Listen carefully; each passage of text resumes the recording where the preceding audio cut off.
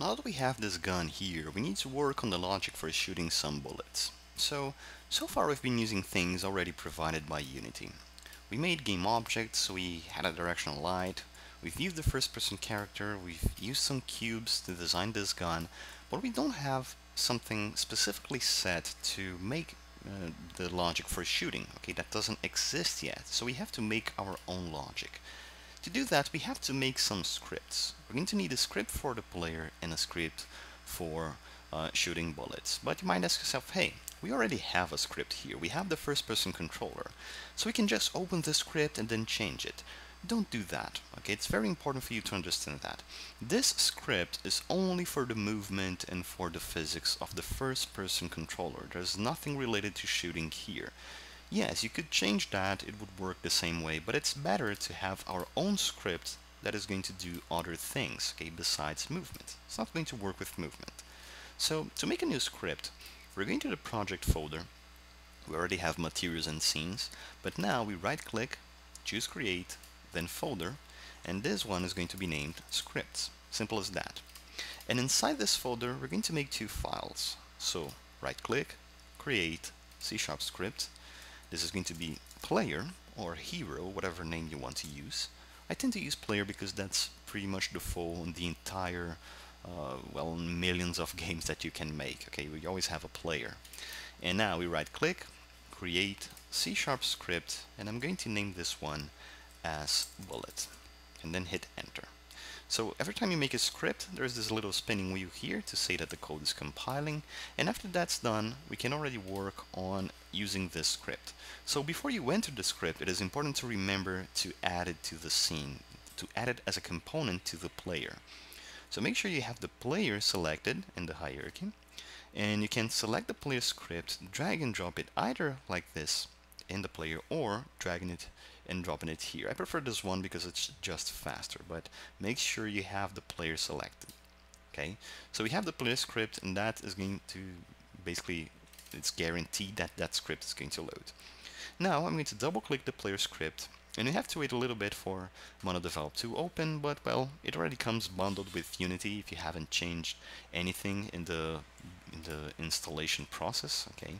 And we have that empty class here. So the first thing that we want to do is to understand when our when should we shoot bullets, okay? And we have two methods here. We have start and we have update. And for clicking in Unity, we should use the update method. Since this is called on every frame, on every time your game is processed by the device it's being uh, ran, okay, so if it's in, in a smartphone, in a smart TV, whatever target platform you have, the update method is going to call once per frame. And this is the perfect moment that we can use to check if we are clicking. Okay, so we want to, to listen for the click for in the left mouse button. Okay, so a basic left click. And to do that, we need to use an if block. So we're going to type if, open and close parentheses and the curly braces. And to ask if we are pressing the mouse button, we're going to type input to access the input class, the input system, dot get mouse button. And you notice that there are two, three options actually. Get mouse button is going to return true at every moment, every time, every frame the given mouse button is held down. So this is used for machine guns, for example, because if you hold down the trigger, then it's going to shoot bullets, several bullets, okay, dozens of them at every second.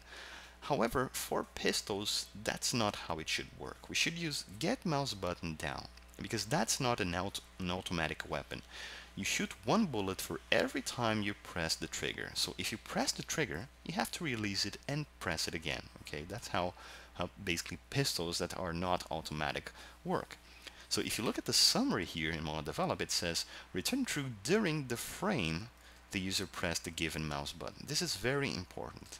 Since we are using this in the update method, it's basically going to work. So get mouse button down.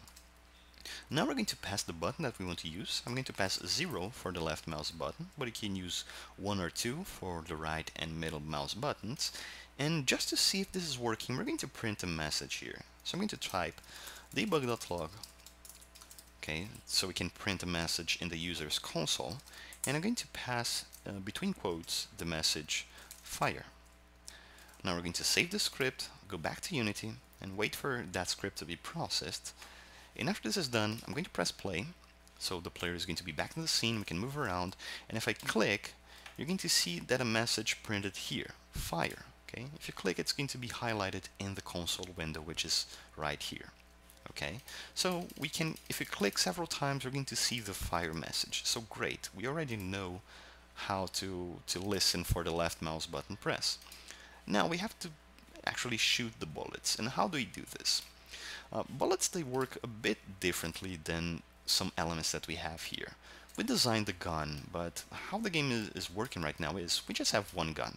Okay, there is no need to, to transform that gun into something that can be reused later.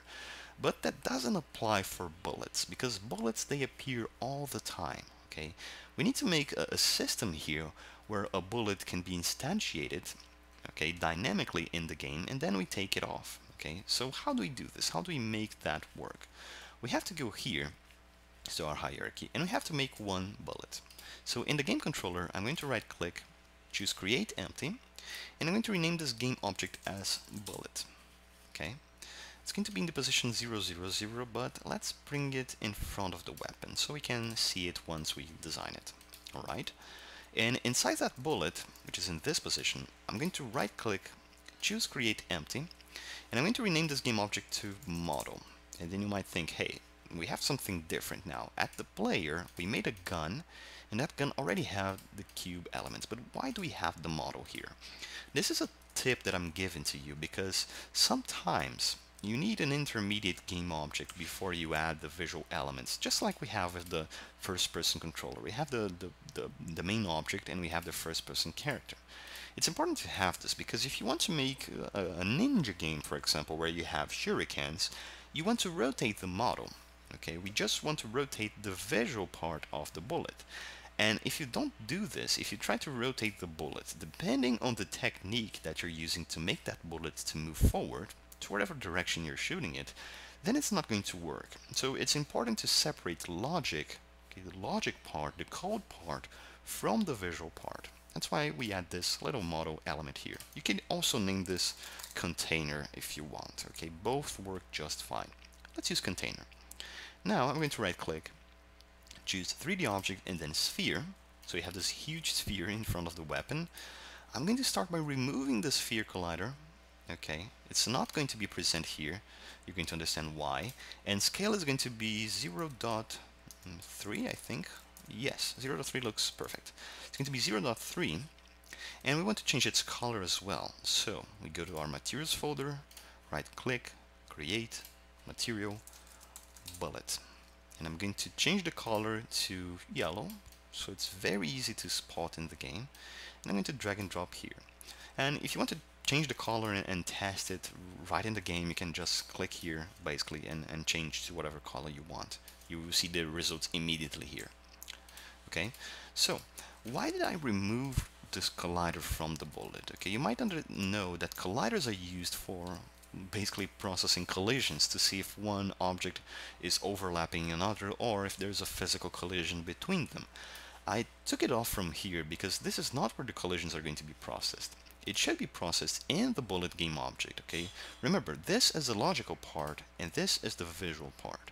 So in the bullet, we need uh, to add the bullet script to it. So we already made that. I'm simply going to drag and drop to the bullet here or here. We already have it, the script's here. Nothing special, but it's going to work. And now I'm going to click on Add Component, and we can add either a box collider or a sphere collider. So if you click on Add Component, you have that search field just type sphere and we already have sphere collider. If you look at the scene window, it's a bit bigger than the bullet.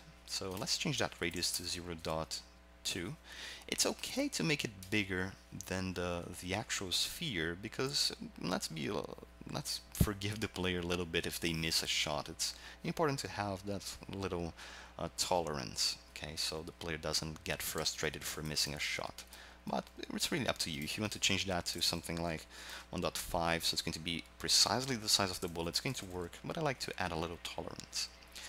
Now, this bullet is not going to behave uh, completely in a completely real physical way, okay? We're not going to shoot it and if it hits the floor it's going to bounce and roll around. we want to keep things simple. Okay, sometimes you have to simplify things so you're going to make sure that the game is going to behave very well. And because of that, I'm going to mark this is triggered checkbox. Okay, so we are just going to use the bullet for checking for overlaps. So basically, the bullet's going to go through elements. It's going to go through the floor if you shoot looking at the floor. It's going to go through the enemy. However, if it goes through the enemy, it's going to hurt it or kill it. Okay, so let's use this is trigger checkbox here. Alright, so we have the bullet, we have the sphere collider, and now that we have this, we want to transform this bullet into something that can be reused later. In Unity, that's called making a prefab. Okay, it's just like the name says, something that has been previously fabricated, something that has been previously made for us to reuse later. Since we're going to make use of several different bullets, it's interesting that it is a prefab. So what we're going to do is, we're going to the project folder, we're going to right click and create a new folder that is going to be named prefabs like this. And now we're going to select this bullet and we're going to drag and drop to the prefabs folder okay? And we're going to have the bullet here. If you look at the hierarchy it's written in blue Okay, it's something very simple, just written in blue because it means this is a prefab instance. It's a copy of the original prefab, which is this one. And if you want, you can even delete it from the scene because it's already saved. You can just drag and drop again, it's going to be back. Now, we're going to save our scene and we have to work on making this bullet appear.